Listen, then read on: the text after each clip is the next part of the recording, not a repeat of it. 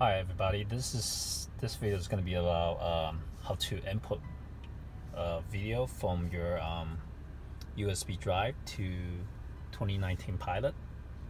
So what you will do is there's a um, USB port over here. You can just plug it in.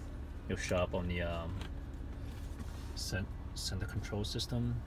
You see that uh, USB tab is activated over here but this is not how you import it though. If you want to import you have to go to the music.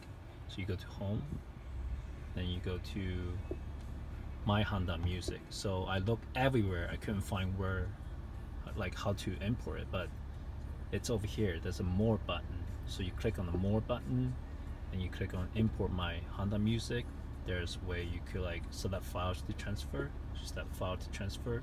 I put everything into a uh, music folder so you just click on the music folder and I select all of it. Once you select all all then you can just you know press OK and hit transfer. I already imported so that's it. Bye